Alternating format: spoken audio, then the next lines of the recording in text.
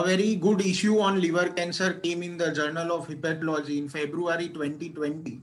And uh, when we read this issue, uh, the two queries that come in the mind is one is are there too many new things? Are we seeing a lot into molecular biology?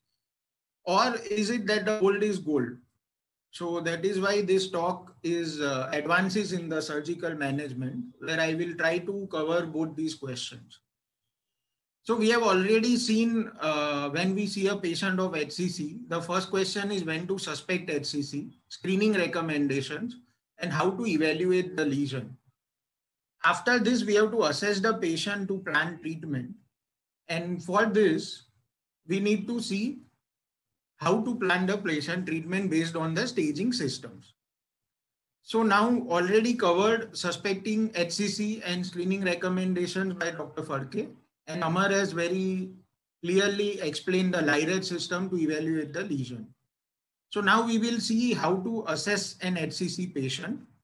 And for this, based on BCLC as well as based on our previous uh, patient assessment video, the three factor checklist is very important for your OPDs.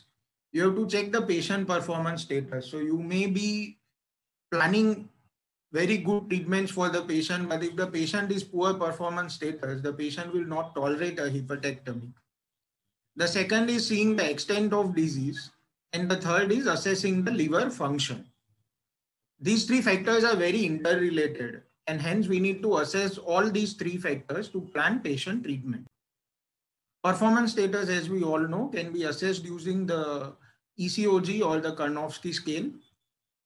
Extent of disease, as Amar has already discussed, now is based on the LIRADS system.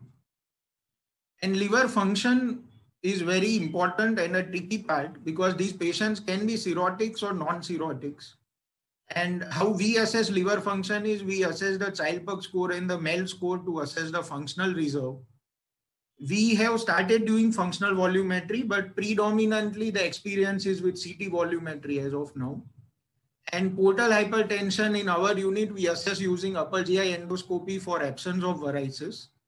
We look at uh, splenomegaly, platelet count, and portal vein diameter in the Doppler.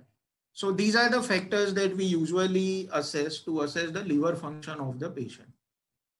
Now, why these three factors? Because when we see the most commonly utilized staging system, and this is the simplified uh, version of the BCLC staging system as we know it, the three points that I have discussed determine the BCLC staging. That is the liver function, extent of disease, and the patient performance status. So that is why these three factors are very important. So now going into a bit of details, how to apply LIRADS once you see the LIRAD score on your report. Amar has already discussed what, the, what these colored uh, markers mean, but how to assess them. So when you have a report from radiologist saying that there is no liver lesion, it is negative, or it is LIRADS 1 or 2, these are the patients who are for surveillance, as discussed by Dr. Phadke and you can do surveillance six monthly in these patients. These are the patients, LR4, which is a high risk group, but not clearly HCC. LRM, which I call as metastatic to make it easier, and LRTIV, that is tumor in vein. These are the patients who may need a biopsy for pathological diagnosis. So biopsy in HCC is not routinely done, but these are the groups where you may need a biopsy after dual imaging. The third group is LR5, where HCC is confirmed, and this is where the BCLC staging comes into picture. So LIRADS since 2018 is coming into practice, and this is how we have implemented it. So now coming to BCLC or the standard of care for HCC, so what are the treatment options in BCLC? As we know, the left-hand column are the treatment options which are not curative, but they are the treatment options which are utilized to take the patient from a non-curative place to a curative place. So TACE, TARE, portal vein embolization or surgical partial portal ligation are treatments which can convert the patient into resectable or patients can they be then taken for transplant or ablation. So curative treatment options for HCC are uh, liver resection, liver transplant and ablation. And other treatments are used as an adjunct to convert the patient into curative treatment. So now if we see the BCLC as described by Amar, the stage 0 and stage A are patients who fit the Milan criteria. And these are the patients who can be taken up for curative treatment, which may be ablation, resection, or transplant. However, when the liver function deteriorates and the disease is multinodular, but the patient is preserved functionally, these are the patients which are ideally suitable for embolization or drug. However, when the patients have portal vein invasion or nodal or metastatic disease, this is an advanced stage in BCLC and the predominant treatment in this group is medication. Again, it depends on the liver function status. If the function is poor, the patients may not tolerate medication. The last group is patients with poor performance status. And these patients have poor liver function and they are only suited for palliation. So now when we see this classification, it is not clear cut as Dr. Phadke also told. It's a probability based classification. You don't have distinct marking that above five, this is what is done, above 10, this is what is done. So that is why the February 2020 issue of hepatology was mentioned by me because it gives you some idea on the questions of how to know these probabilities. So when to resect, when to transplant, and when to embolize. So these are the key questions that we need to know as clinicians. So let us see some of the factors on how we decide to select a patient for resection. The first and foremost important point is inadequate future liver remnant. And this is the Achilles heel of liver resections.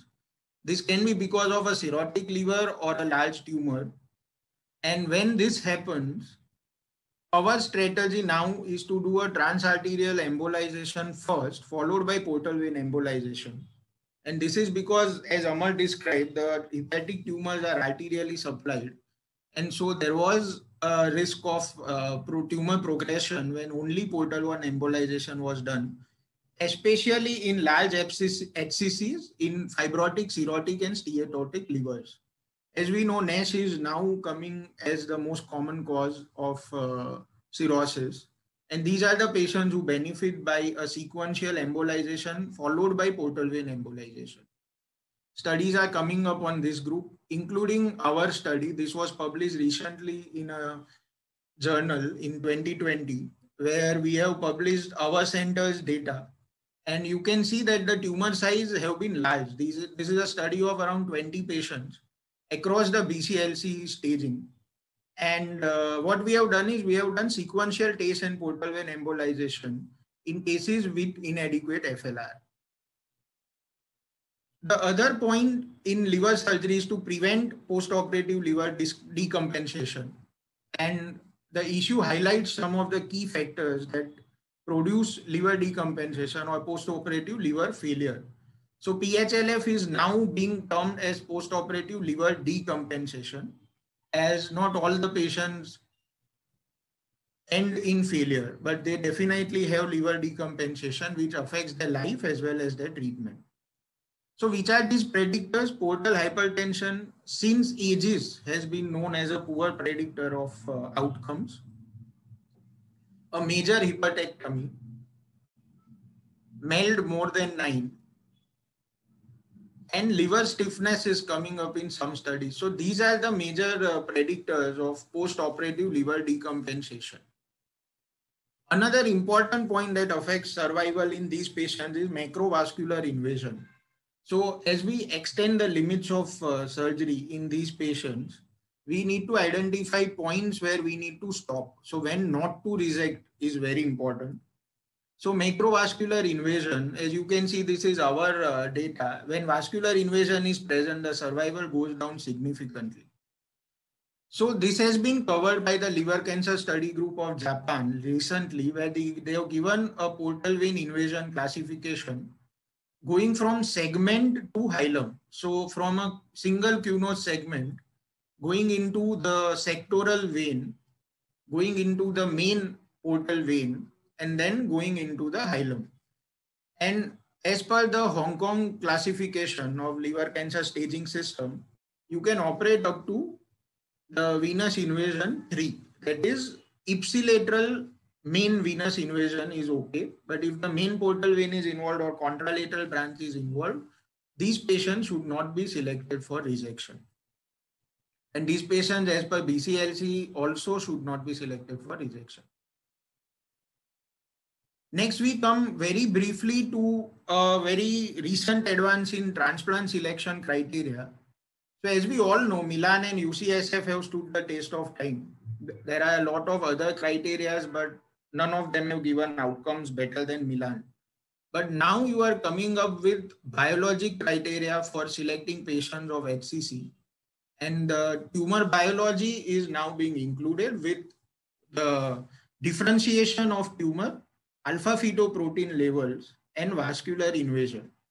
So these are the new uh, criteria that are now being selected and this is known as an extended biologic criteria for selecting the patients for transplant. So again, a new area, interesting area coming up.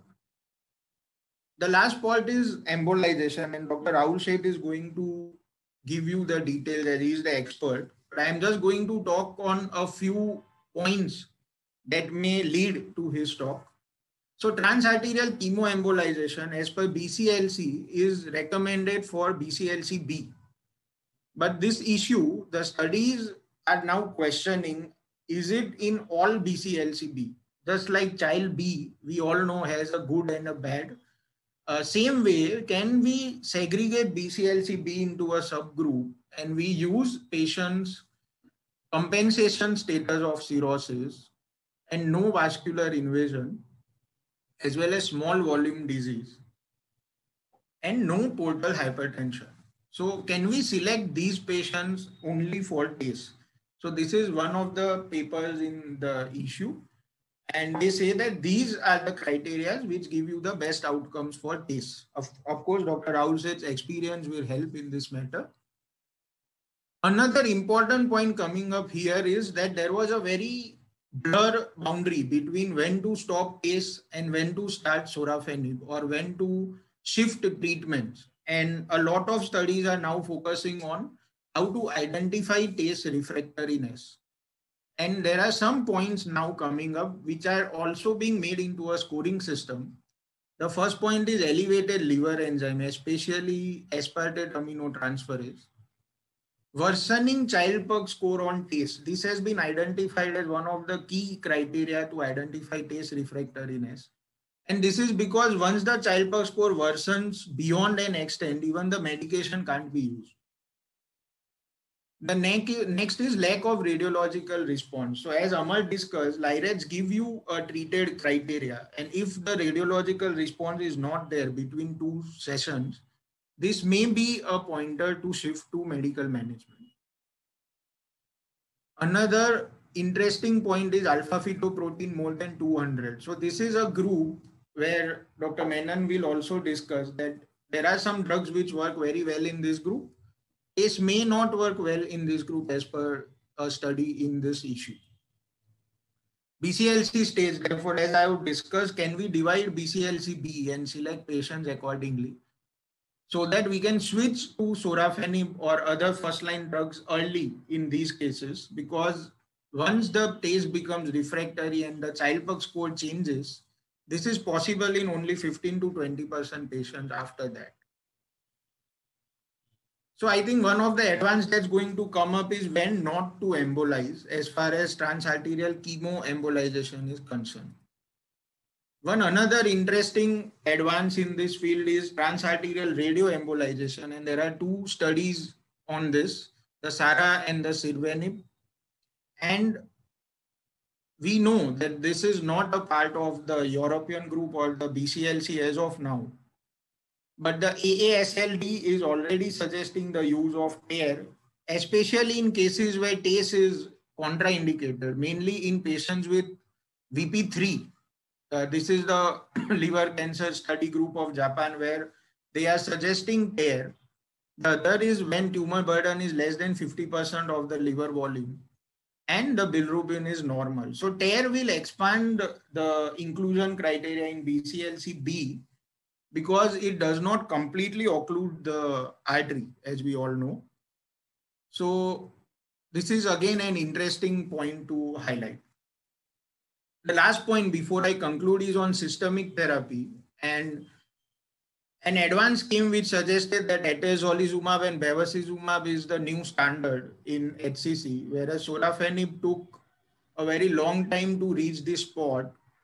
This combination has not taken that long. So a bit skeptical about this and I'm sure Dr. Menon will touch upon this in a lot of detail.